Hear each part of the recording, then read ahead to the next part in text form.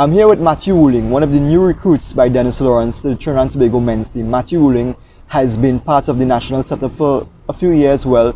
He is a former member of the national under 17 team and he made his international debut against Anguilla last week. Matthew, welcome. Thank you. Matthew is here obviously, um, you know, he's making a turn in his career in terms of where he goes professionally. He made his, uh, his professional debut for W Connection at the age of 14 years, was it? Yeah. Um, a few years ago and now uh, having come off a stint in Malta, he's here to share with us his experiences as a professional player and now back in the Trinidad and Tobago Professional League with AC Port. Matthew, you had a chance to make your debut for Trinidad and Tobago in the 15-0 victory against Anguilla. What was, what was that experience like? Well, you know, it's always a great experience to, to represent the national team, you know, make my debut and get the win and get the victory out of it. So it's always a great experience and a childhood dream of mine to play with the national team. So in all, it's a great experience. Getting back on the local scene and running out for AC Port of Spain, were you surprised by the call from Dennis Lawrence? Well, I am, to be honest, I always believe in my abilities and myself, you know. I'm always guided by my family and, you know, just having that belief and having the faith, you know, believing in God. I always trust the process. So um, I know over time it would come and I'm just thankful to Coach Lawrence for giving me the opportunity to play for Trinidad. What was the experience like in Malta?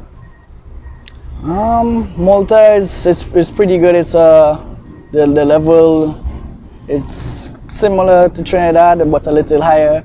You know, it's a European country, um, an island, so it's kind of has the same kind of vibe as Trinidad. So, you know, I, I like the experience, even though my team we didn't do too well, but individually it helped me grow as a person, staying away from Trinidad. So, in all I say, it helped me a lot to grow as a player, and not only as a player, but as a person as well. You spoke about trusting the process, and uh, I remember when you were part of the men's under 17 team, um, you were in the final squad, but you didn't get much playing time. Um, how did that, in a sense, spur you on to continue developing yourself uh, to achieve something later on in your career? Um, yeah, U17, I didn't play much, but you know, mental, it's all about your mental ability to go on from there and to say, you know, I can do this and I believe, I believe in my abilities and, you know, just trust God and keep working hard and, you know, things will fall in place like how I am now. So it's just to trust the process, as I said. And now that you're here and you've had a chance uh, to make your debut and you're in the squad for the, the games against Ecuador and um, Honduras in a few days, CONCACAF Nations League qualifier, um, what are some of your ambitions now, short term at least heading into 2020? Well, I want to become a more established player on the team, you know, just getting my debut. You know, for some players, uh, one cap or something is enough for them, but for me, I want to always push the boundaries. So for me, I mean, to get in the 18 and to start 11, then to score goals and help my nation grow and become better. And hopefully one day we qualify for World Cup. Matthew, you know, growing up as a youngster and now as a professional player, national team player, who were some of the players that you would have looked up to and sort of idolized and tried to match your game on?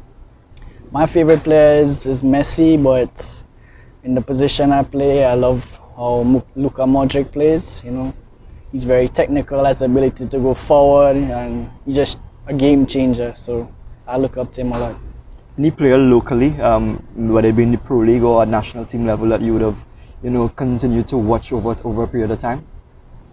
Well, personally, I, I like Molino. I like his style of game. You know, he's dynamic and he scores goals, and that's the main thing. So All to link up with him would be really good as well. Um, how do you find yourself in the in the pro league now? Um, back with AC AC Port of Spain, hoping to uh, continue playing with them and, and see all the rest of the season. Yes, you know, we have a, a young squad and it's, it's developing, you know. So it's good to, to get together with the boys and hopefully we can go on and win the first, first Citizens Cup. So it's just a, a development process right now. And hopefully, game by game, we get better and get the three points. And uh, two games for us: uh, Ecuador here later today, and then Honduras. How we look forward to it. Yeah, it's uh, this will be a good test, you know, coming from Anguilla. You know, the boy just need to get in the rhythm for Sunday, which is the main encounter. Um, but yeah, today will be a good test, and just go out there and hopefully we can build and and look forward to, to the game on Sunday. All right, Matthew, thanks a lot and good luck. Okay, thank you. Okay, perfect.